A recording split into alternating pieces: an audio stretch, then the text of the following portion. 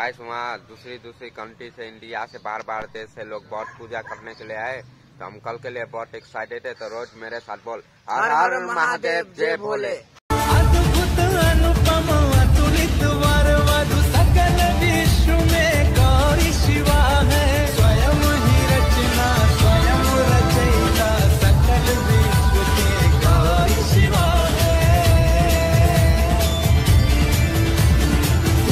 स्वरूपाय जटाधराय देवाय दिगम्बराय, तस्मै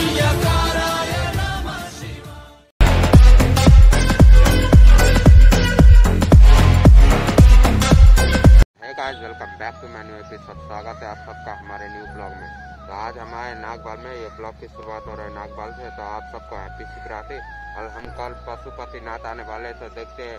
हम छोटी सी मीटअप रखने वाले हैं, वहाँ तो देखते हैं कितनी लोग आता है, और वहीं हमसे मिल लो, और अभी थोड़ी सी हम हमसे वीडियो बना लो, उसके बाद आप भी वीडियो में, हमारे वीडियो में जुड़ जाओगे।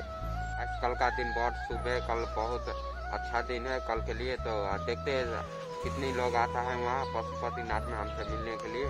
आशा करता हूँ कि आप लोग ज़रूर आओगे। तो अभी हम गाइस में बहुत दिनों से इसी दिन का इंतज़ार कर रहा था, क्योंकि कल महाशिवरात्रि है ना।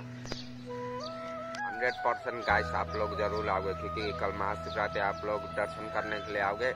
तो उसी उसी टाइम हमसे मिल लेना, क्योंकि हम वहीं जाने वाले हैं। कल सुबह ही निकल जाएँगे कल तो उसके बाद देखते हैं कितने लोग आता है वहाँ। तो गाइस वहाँ दूसरी दूसरी कंट्री से इंडिया से बार बार देश से लोग बहुत पूजा करने के लिए आए। तो हम कल के लिए बहुत एक्साइटेड है। तो रोज मेरे साथ बोल हर हर महादेव जय भोले। गाइस मैं कल के लिए बहुत एक्साइटेड हो रहा हूँ। तो अभी से चलता हूँ घर।